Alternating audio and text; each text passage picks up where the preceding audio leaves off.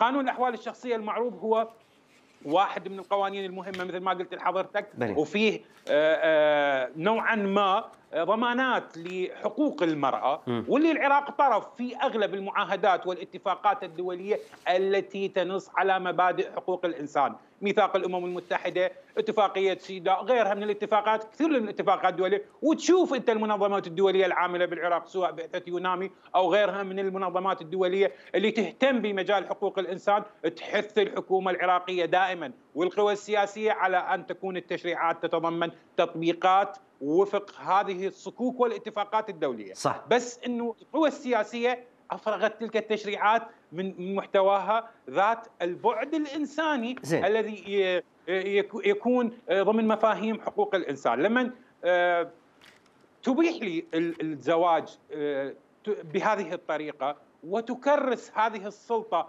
لرجال الدين أنت تبتعد عن مفهوم الدولة المدنية بها القضاء المستقل القضاء العادل. وإلا إحنا يعني أن نسلم أحوالنا إلى رجال دين ربما يكونوا متشددين في بعض الأحيان وربما ربما يكونون ذات أمزجة معينة. نحول الدولة كلها من دولة مدنية إلى دولة دينية دولة إسلامية بصبغة إسلامية. وذاك الوقت تعود كل القوانين. مو؟ نعم.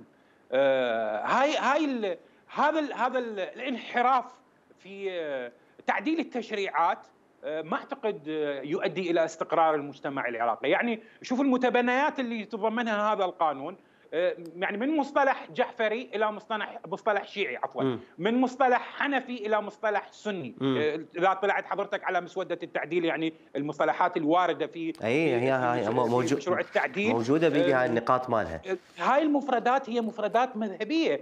ما يفترض ان إحنا في عام 2024 وننادي بدولة مدنية عادلة ذات سيادة وهذا أيضا يؤسس لنظام سياسي مستقر، كيف تريد استقرار النظام السياسي طيب. وأنت تنتقص